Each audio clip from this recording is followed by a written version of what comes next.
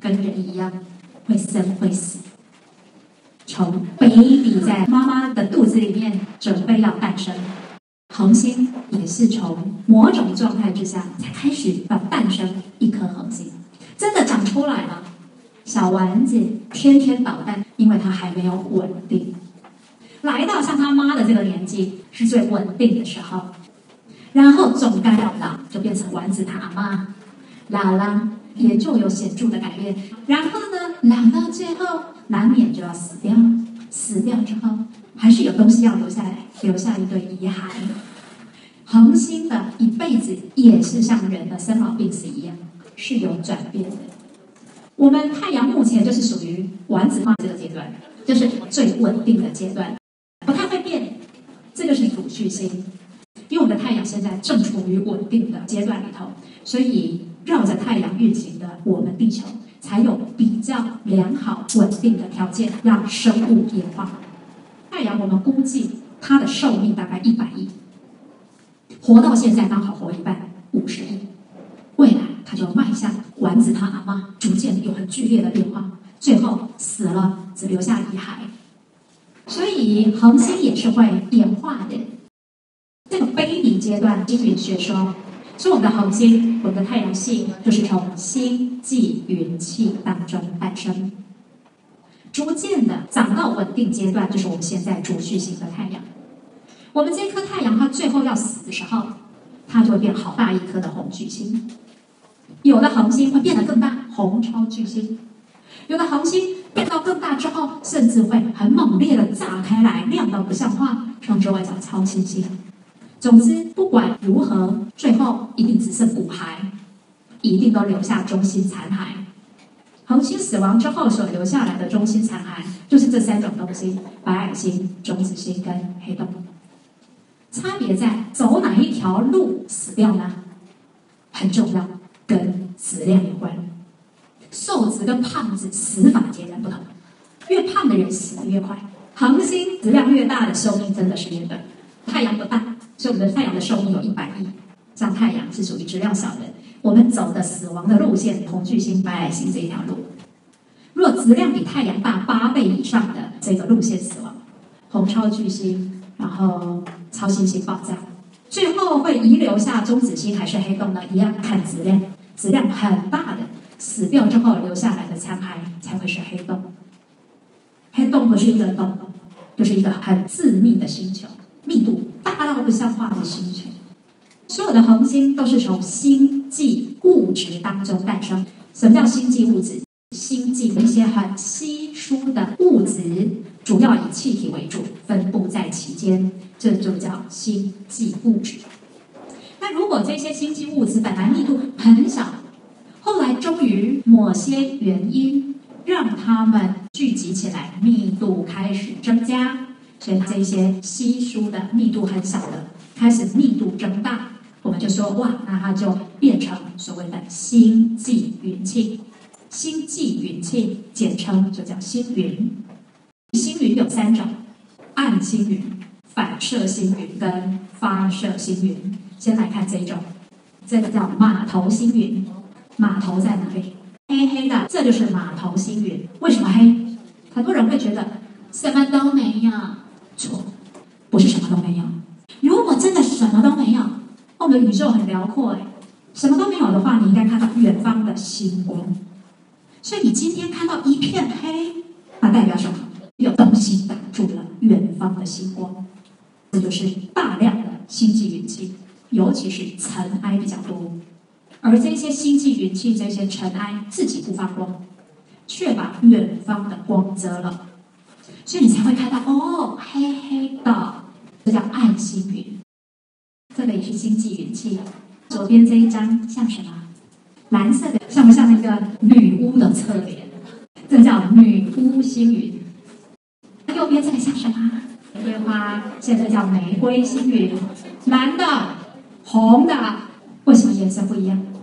这个蓝的呢？这叫反射星云，是星际云气反射附近的恒星所发出的光，看到的颜色是偏蓝。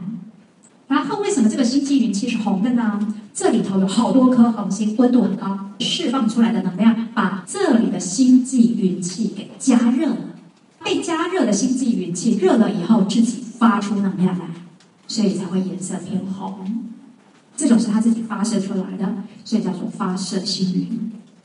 星云有三种，这个就是黑的暗星云，蓝的这是反射附近恒星的光，反射星云；红的是恒星把这些云气气体加热之后，气体热了自己发出来的发射星云。我们现在可以用光谱来做验证，这些星际云气离我们很远。我们利用拍摄到的光谱，就可以合理的推测这些星际云气里面有哪些组成。不管是暗星云、反射星云还是发射星云，星际云气里面大部分是气体居多，尘埃的量比气体普遍来说要少一点。气体里面尤其又以氢最多，氦次之。星际云气因为彼此之间的重力开始互相吸引。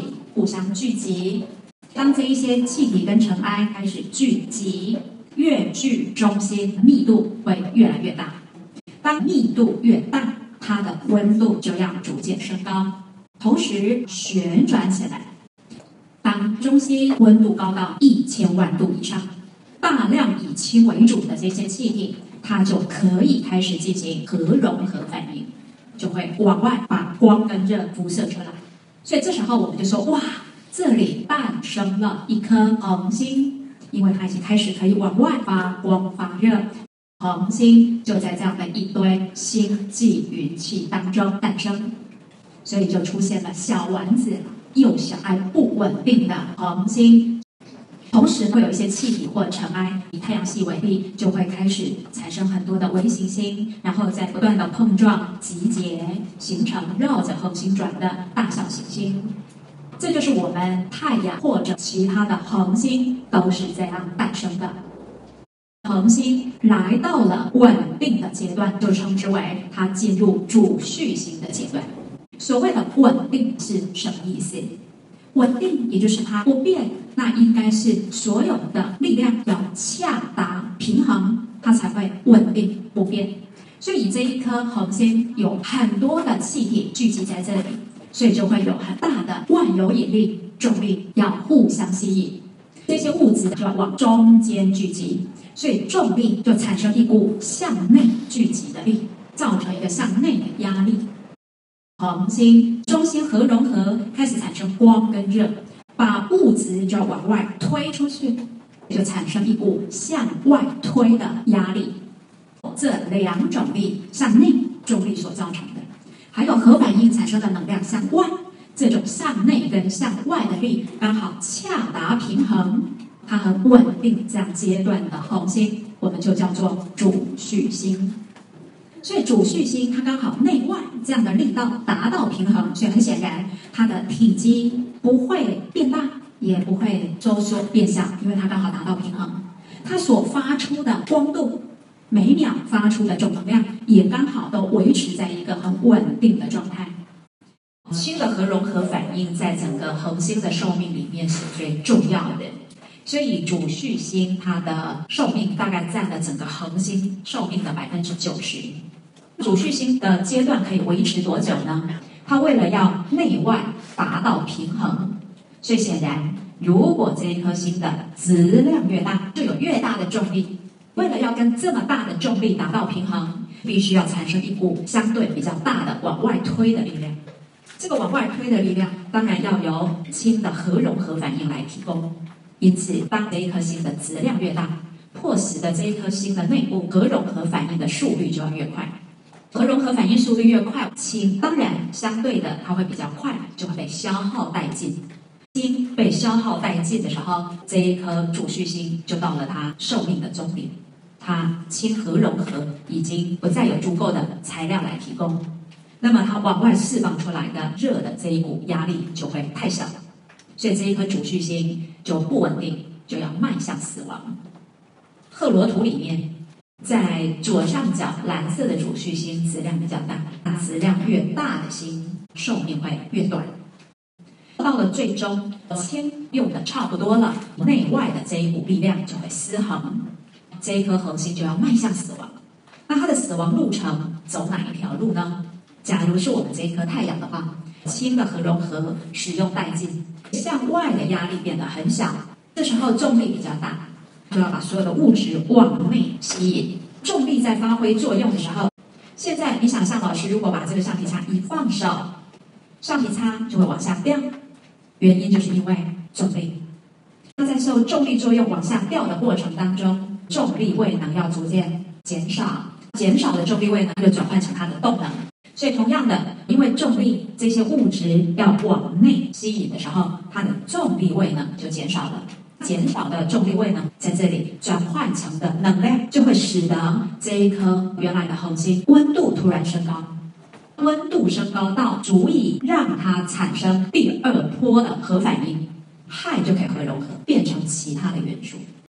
这样的变化过程里头，这一颗恒星就要体积被撑大开来，它就会变成一颗红巨星。那因为它这个体积变大的太快。只要气体体积膨胀，温度就要下降。所以，我们本来是温度比较高的黄色主序星，来到这个阶段，表面温度就会降得比较低，变偏红色的。所以，这时候就变成一颗红巨星。以我们这一颗太阳来说，我们现在太阳的大小在这里。我们太阳在死的、在老的过程，会变成一颗红巨星，这么大。它的直径是二 AU，我们地球跟太阳的距离是一 AU。在变成红巨星的时候，它的体积会不断的变大。水星、金星，科学家估计是一定会被它吞进肚子。科学家推算，在太阳做这个变化的同时，会产生一股力量，把我们地球稍微往外推一点。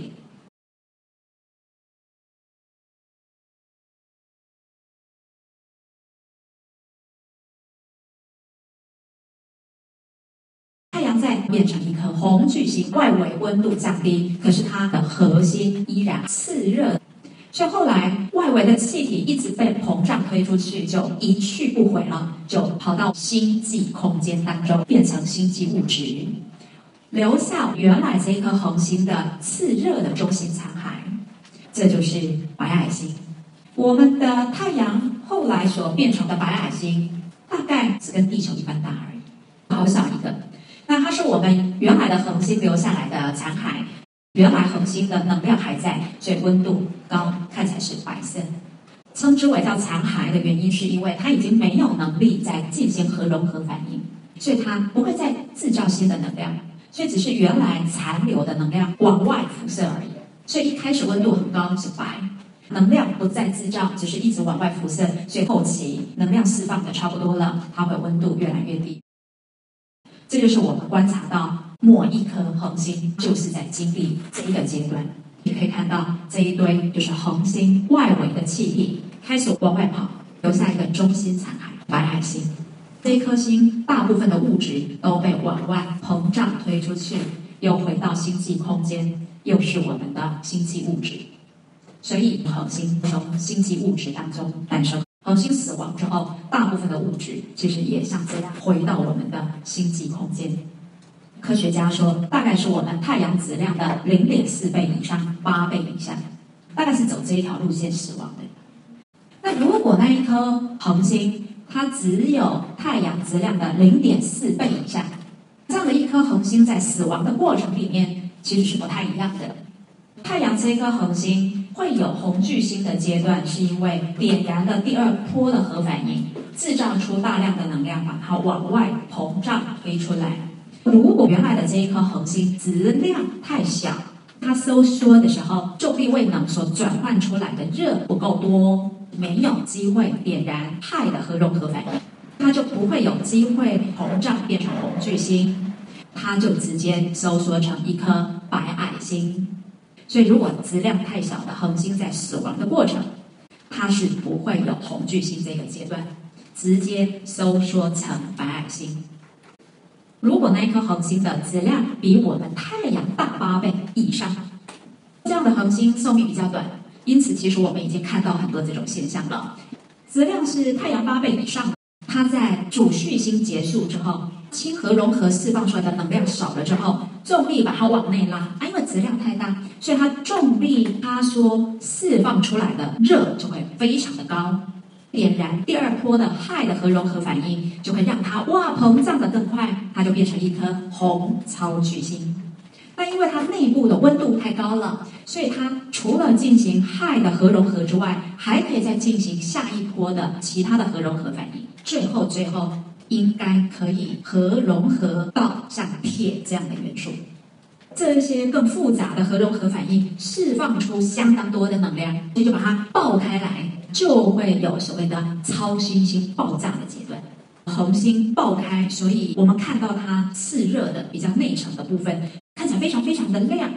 在宋朝的时候，看到说天空怎么突然多了一颗很亮的星，亮到连大白天都清楚可见。这一次的超新星爆炸就是这个蟹状星云，这就是当时超新星爆开来，到现在还在进行当中哦。观察到它突然之间亮起来是西元一零五四年，一直到今天，我们测量到它外围的物质抛回我们的星际空间，速度一秒一千五百公里。就你看到这些星际物质，就是被它推出来的。它留下来的中心残骸密度非常的大，称之为叫中子星。那何谓中子星？原来的恒星重力互相吸引，所有的物质往内塌缩而成的。它的重力太大，所以连外围的电子都被拉进原子核里面，跟原子核里头带正电的质子结合了，变成不带电的中子。这一颗残骸，这一颗星体，它里里外外都只有中子。那假如原来的那一颗恒星质量再更大，超新星爆开来之后，留下来的中心遗骸就会重力更大，使得它的密度更大。重力大到连光线都无法逃脱，那样的星体就称它叫黑洞。比如说，如果老师橡皮擦往上丢，到了某个高度，重力就把它拉回来。如果我用力一点，出速度快一点，我就可以丢高一点，最终它还是被我们地球的重力拉回来。如果要能够离开地球重力，我们的重力终于拉不回来，它终于离开我们地球，要逃脱的话，初速要大概每秒十二公里。它就可以离开地球。如果这一颗星球的引力重力大到连光速这样的速度都无法逃脱这一颗星球，光以光速都无法离开这一颗星球的引力吸引，这就是黑洞。所有的恒星都是从星际物质原来是稀疏的气体跟少许的尘埃，开始因为重力而互相吸引，密度逐渐增大，变成星际云气。星际云气在因为彼此的重力再相互吸引，让它开始凝聚，体积缩小，密度变大，温度升高，它就可以诞生一颗恒星。恒星内部的核融合反应来到一个不稳定阶段，就是核融合反应向外释放出来的向外压力，跟重力要往内拉所造成的这个压力内外达到平衡，就进入主序星阶段。一颗恒星大部分的寿命都在主序星的阶段，占了百分之九十的长度。然后不同的质量的主序星，它的死法会不一样。蓝色的主序星就是质量比较大。如果质量是太阳零点四倍以下的，质量不够大，所以它塌缩的过程里面没有产生足够的能量，就直接塌缩变白矮星。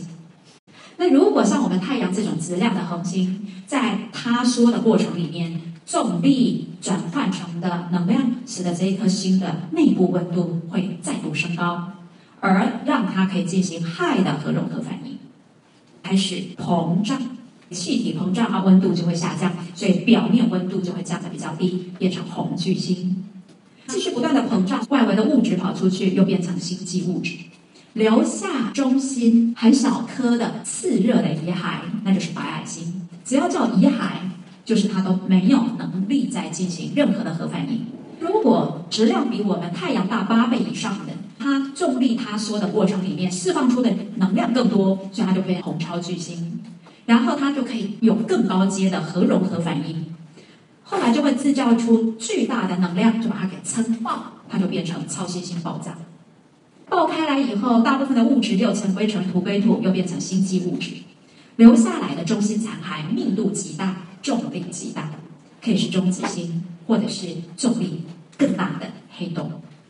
这就是宇宙中我们所了解的恒星的一个生老病死的演化过程。